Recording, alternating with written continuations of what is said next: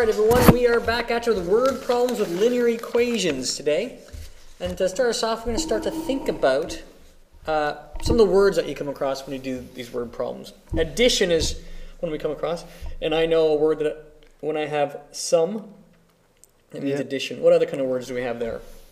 Um, you have the sum, or we could we could say plus instead of add, Right? Or it could be add, or the total of. total of, or more, more than.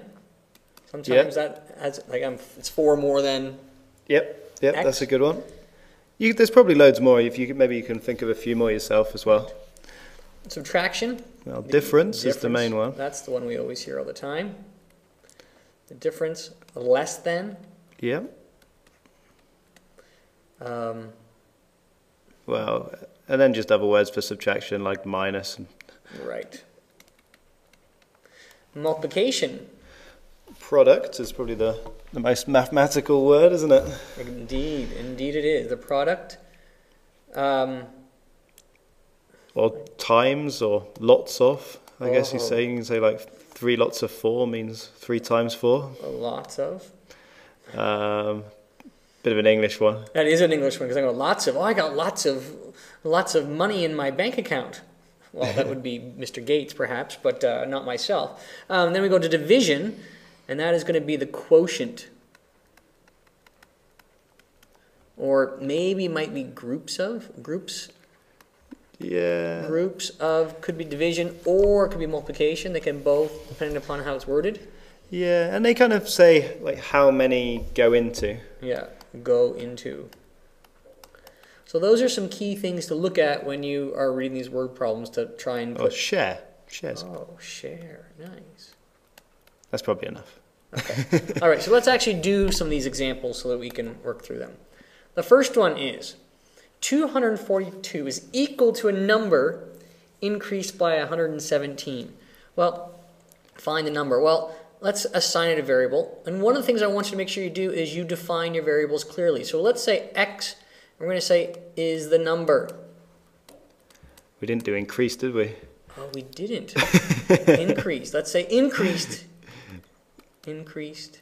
And so Decreased and reduced. reduced. Oh, good words.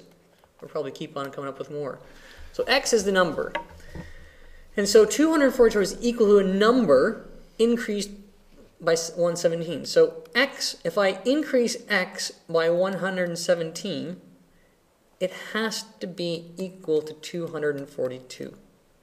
And so I can set up this equation by the words. Subtract my 117. Oh, Mr. Cole, I'm going to put you on the spot there.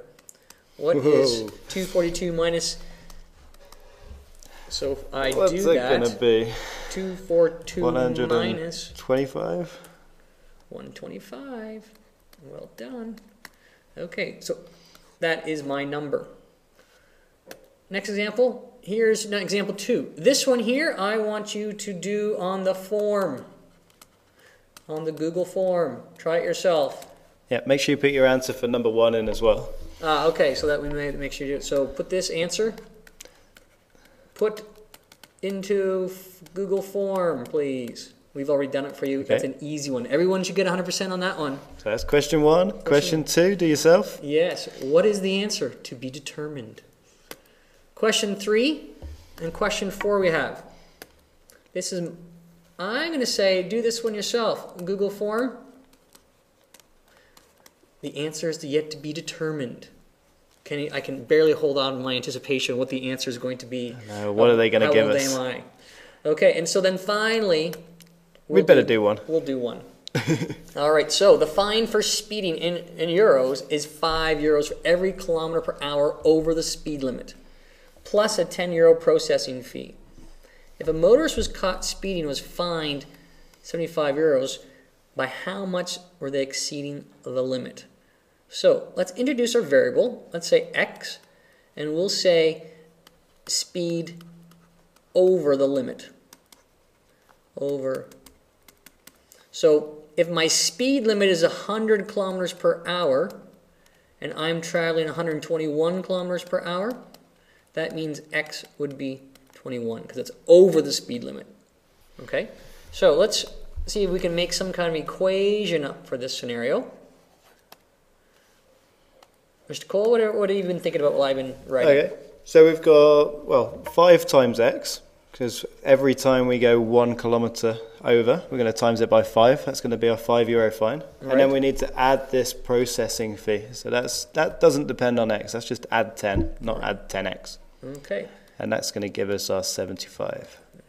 So if we subtract our 10, we get 5x is equal to 65. Yep. Divide by 5, and x is 13. 13. We could have let them to do that one, shouldn't we? Should have left them hanging at that point. Oh. Never mind. All right, and so x is 13 kilometers per hour over the speed limit. And you can put that into your, put just in, put 13 into your Google form. Google, hooray.